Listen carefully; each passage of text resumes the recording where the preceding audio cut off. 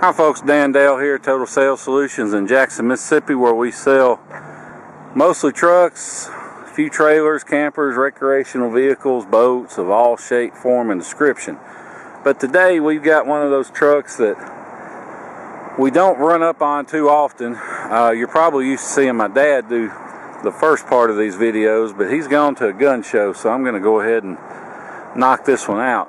This is a cool truck. It is a 2000 Ford F-250 Lariat 4x4 off-road package 7.3 turbo diesel with only 138,000 miles which if, if you've been in the market long for a, truck or a 7.3 especially you know how hard it is to find uh, one with such low miles because by now let's face it most of them are ragged out and they got three or four hundred thousand miles and they're on their last legs body wise although the engines can run forever but um, but this one only has 138 it's pretty cool. We'll uh, I'm to take you for a test drive in a minute but first we'll do a little quick walk around. You can see the grill is in great shape. It's not cracked or peeling. The bumper is nice. The um, headlights aren't faded out. It has this nice set of matched running boards on it that uh, give it a nice look. Matching set of Wild Country uh, tires on it. You can look in here, no rust, Southern truck, not rusted out, windshield's good in it.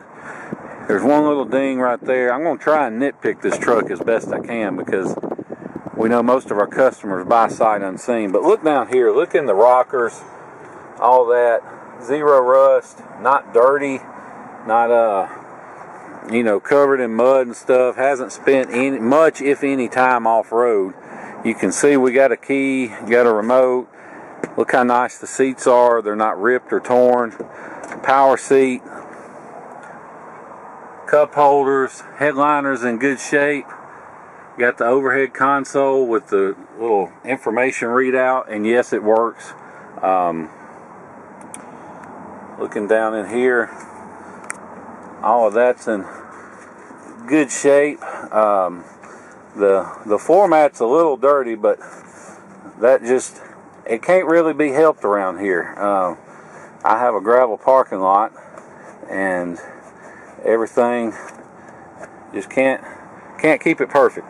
But uh, you can look under here. The carpet's nice, not worn out by any stretch. Look in the back. The uh, Got the little extra cup holders up front. Of course, got a flip down armrest here, sliding rear window. Showed you the headliner. One little stain in the carpet looks like some Kool-Aid or something. I'm sure you can get it out, but I don't want my guy, if I tell him scrub that carpet, he'll scrub a hole in it. So I'm not going to try. I'm just going to announce that. There it is. But look in these cab corners and stuff. Just uh, no rust. Look how clean it is in here my guys couldn't clean one that good if it was dirty. Just believe me on that. Got the spare tire, which I don't think has ever been down. It looks like it still has the nubs on it. But you can see under here how nice it is. It does have a gooseneck hitch in the bed, so if you want to pull a little trailer or something, you can. One thing that is not going to come through in this video when I'm driving it is just how quiet this engine is. Now, 7.3 is nobody's going to mistake that for a six seven or you know late model diesel that sounds like a gas motor but most 7.3s you get they they make a lot of that diesel noise. They're diesely. It's really loud and that's a combination of age exhaust leaks old injectors stuff like that and it's just not present on this truck. This truck is quiet it's smooth. When you hit the accelerator it takes off smooth. Look under here look across the front you can see the bed straight. Um, look back on this side. Again, great shape. Cab corners are all good. Bottoms of the doors, no rust. It's just hard to, to overstate how clean this truck is. Now, I'm not going to sit here and say it's a perfect truck or you won't find something to nitpick if you look hard enough. But it's a nice, nice truck. Uh, still has the spare tire key in it. Got the manuals in it. Look at the carpet. Carpet's good. Seats are good, no rips, no tears, none of that. Dash isn't peeling.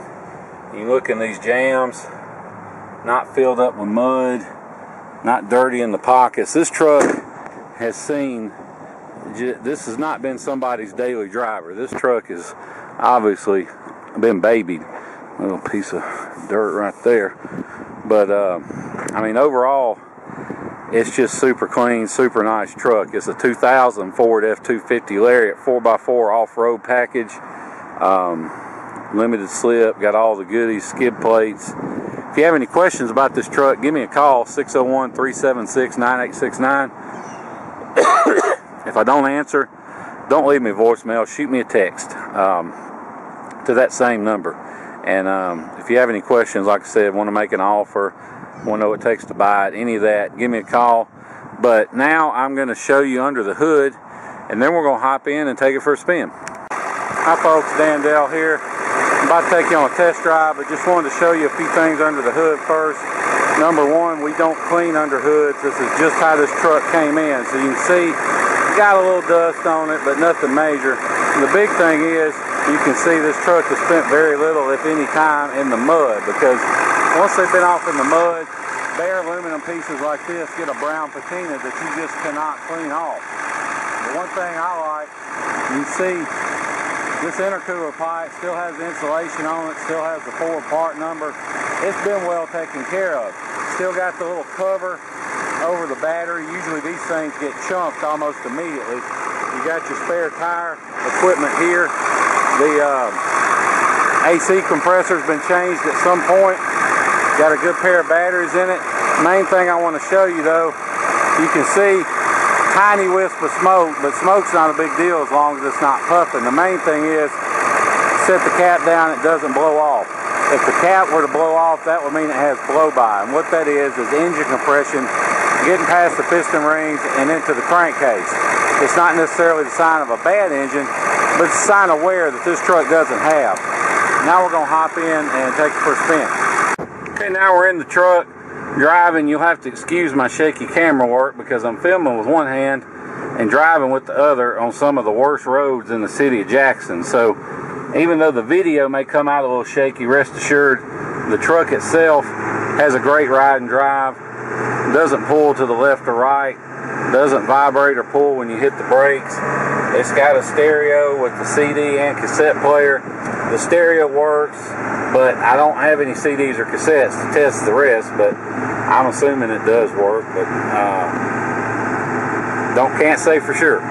One thing I did thought think was cool, you see the overhead console, it shows your compass heading and your distance to empty and all that, and uh, it still works. Almost every one of these trucks we get in, if you watch our old videos, you'll see us disclaiming that that little deal because there's a little uh, diode or transistor or something in it that goes out and it's not that big a deal to fix. It just takes a little time to take it out. There's a guy on ebay you can send them to for $17 he'll fix them but um, anyway they almost never work. They work on this one got the extra power outlet uh, you see the cup holders got a uh, trailer brake controller got the big heavy duty manual shift on the transfer case steering wheel is in great shape. Uh, it's not ripped or torn. It is twisted just on top a little bit, just from, I guess, you know, people grabbing the wheel for long times and kind of pulling down. And you could probably twist it back, or I would just, you know, put a little steering wheel cover on and not worry about it. Um, the dash is not cracked or peeling or anything. Um, the only other thing I can nitpick on this entire truck is the power mirrors aren't working. Now, for some reason, neither one's working, so that's usually this little switch or the fuse. So if it's something simple, we've got some of these switches laying around. We'll fix them. Um, but I want you to bid to assume that we don't fix them or we forget or whatever, and that way you know, I don't want to risk bad feedback over uh, a $12 power window switch or, you know, something silly I forgot about. Now, honestly, if it was my truck, you can buy the the tow mirrors for these in the big 08 to 16 style, the big square ones, for like $110 on eBay. I would put some of those on personally, but um, of course that's up to you. But I don't know if you can hear it, but the truck is shifting out great. Um, it fires right up, hot or cold, no issues there.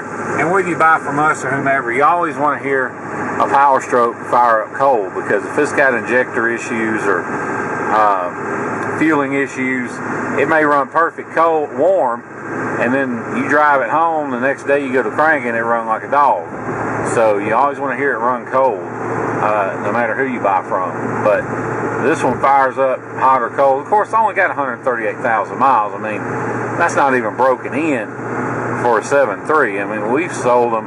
Look at some of our older videos. We sell them regularly with 250, 300,000. We've had some with five and 600,000 miles on them.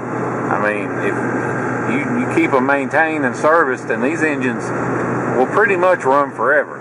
Um, they're just, you know, that that strong, that tough. They've got a reputation for durability. And uh, the thing I like about this one is stock.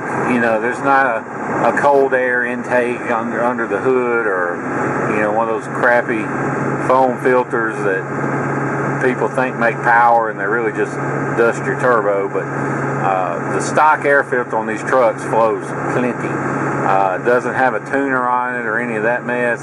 Although you know, I, I put a tuner on it. If it was my truck and I was keeping it, I put a little six position Hydra uh, on it or something just to pep it up a little bit. You they, you can put it on max fuel economy or, or tow, stuff like that.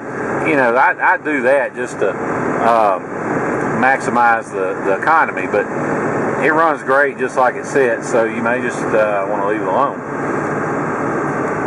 I just turned the cruise on, light came on, it's accelerating up this hill, so it works. You can see I turn it off, and it goes to slow down. I'm doing 75, not making any weird noises or hums or vibrations.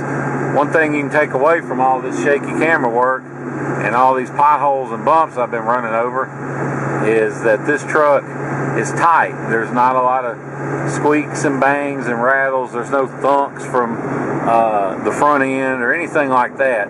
So if you want to fly in here to Jackson, Mississippi, to Jackson International Airport, we'll pick you up at our uh, regular business hours, no extra charge. We'll bring you back here and we'll do all the paperwork and feedback and stuff and let you get on the road. Um, I wouldn't hesitate, like I said, to, to hop in this truck and go absolutely anywhere in it.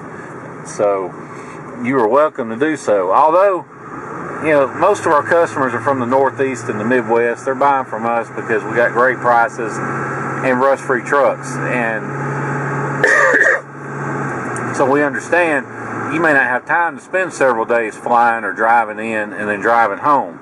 So, with that being said, don't let the idea of having to deal with shipping dissuade you from um, being interested in the truck, or don't let the idea of uh, if you if you look online at some price quote websites, don't let the prices scare you because odds are they're not actual shippers. They're just brokers, and they'll charge you hundreds of dollars up front, and they call it a deposit, but all it really is is their broker's fee for finding somebody to haul it. And they all use this one website that's not open to the public called Central Dispatch. Well, we jumped through all the hoops and we pay about two grand a year to be on Central Dispatch just so we can offer our customers wholesale rates on shipping. So if you're interested, shoot me a text 601 376 9869 or email me the truck you're interested in and your zip code, and I can get you a good ballpark figure on shipping. And if you're anywhere near Dallas or Houston or Atlanta or pretty much anywhere in the state of Florida, I can get you a real good deal on shipping. So uh, just give me a buzz and I'll let you know on that. Basically, the way it works is you buy the truck, you can either FedEx me a cashier's check or you can uh, do a bank wire and pay for the truck, and I immediately I'll send you the title and the paperwork, and I'll post it for shipment. And as soon as I hear from somebody that can haul it, I'll make all the arrangements, and when they drop it off, you just hand them the cash for the shipping. So you pay them directly. You don't pay me anything. I don't charge a markup or anything like that. It's a free service to our customers. Although if you're not a customer, I'll do it for 50 bucks, but I'd rather you be a customer and I'll do it for free.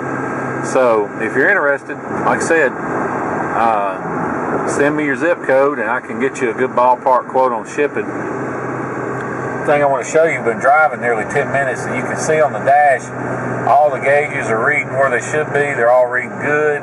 No warning lights lit, no airbag or ABS or engine light or any of that. I like to show the dash after I've been driving a little while because, you know, it's easy to hook your scan tool up and kill a light and then take a picture and say, oh, look, no lights on. But if there's a problem and you haven't fixed it, then as soon as you go to driving, that light's going to come right back on. So that's why I like to show it after I've been driving a while, just so you can see for yourself that there really are no lights lit. So just a uh, just something I like to do in all my videos, so uh, everybody can see for themselves. Since I know a lot of you are buying and paying for the vehicle sight unseen, so. Um, you can even see the compass as we get off this exit slowly turning from uh, north to south and all that. So it's working like it should. If you have any questions about this truck, give me a call 601 376 9869. If you want to make an offer, call me. Want to know what it takes to buy it. Um, want to know about the truck itself or have any questions about the equipment, any of that, give me a call 601 376 9869. We appreciate you watching the video and listening to everything I've got to say about it and look forward to seeing you here in Jackson, Mississippi. Thank you.